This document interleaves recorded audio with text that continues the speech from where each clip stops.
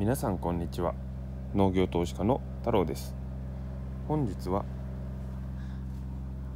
この先日ですねマルチを剥がして立ち枯れエースを散布した苗にローラーをかけていきます。なぜローラーをかけるかというとま先日の動画でもお話ししましたが顕病を作るためですね。強く太い苗を作るためにローラーをかけていきます。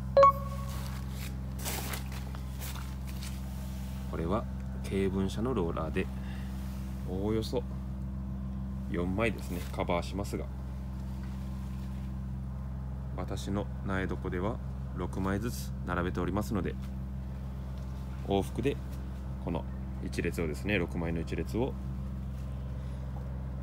鎮圧します。ではやってまいります。そして冒頭にちょっとお礼だけ言わせてください。いつもチャンネル登録をしていただきそして動画を見ていただきそしてあのチャンネル登録してくださってる方はですねいつも見ていただいてありがとうございます。毎日登録者数が少しずつ増えていてとても嬉しいです。励みになっております。また今後とも楽しい動画有益な動画を撮れるようにですね頑張っていきますので是非ともご視聴ご登録よろしくお願いします。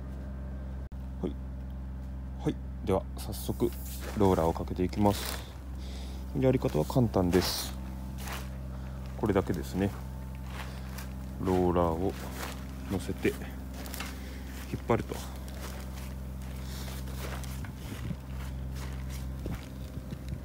このローラー結構重いんですよね。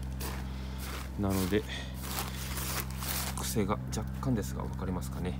こちら方向になびいてるのが。これまだローラーかける前がまっすぐ立てますがこちらがこうなびいてます。こうやってですねこうやって折れるのが麦踏み効果と言いますか？いいらしいですね。エチレン効果でだったかな？これで茎が太くなるそうです。この倒れて折れることによってですね。ただこれはその何回もですねこのようにゴシゴシとこう往復する必要はなく一度通るだけで効果があるそうです。なのでこれを1週間に2回程度、まあ、説明書には45日に1回って書いてありますがちょっと去年ですね。その通りにしたんですけれども足らないなと感じましたので今年は週に2回程度やろうと思っております。すべて同じようにこれで頭を打っちゃいました。すべて同じようにですねかけていきます。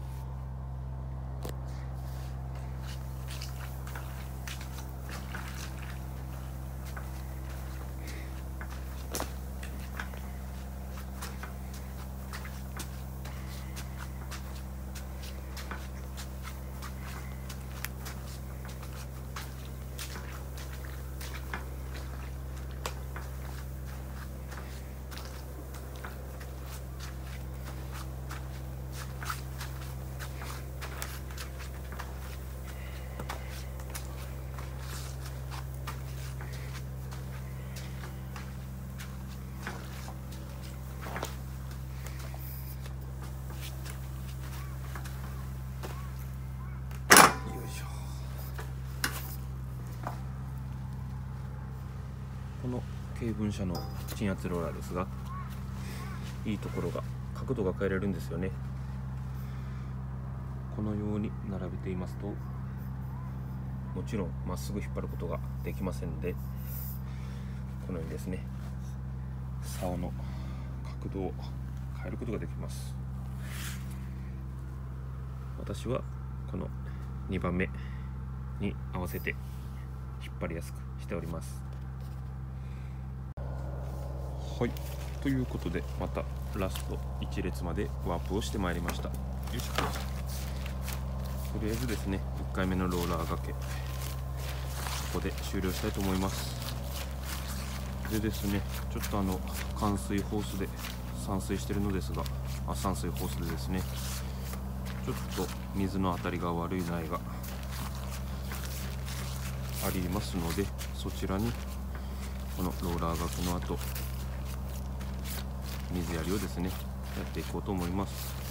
やっぱり水が大事ですね。昨日もかけたんですが乾燥してるので天気もいいですしね。乾きが早いですね。はい。ということで作業しながらではありますが本日もご視聴ありがとうございました。またこの動画が良かった場合はですねコメント高評価低評価チャンネル登録ぜひよろしくお願いします。つも励みになってます。ありがとうございます。では失礼します。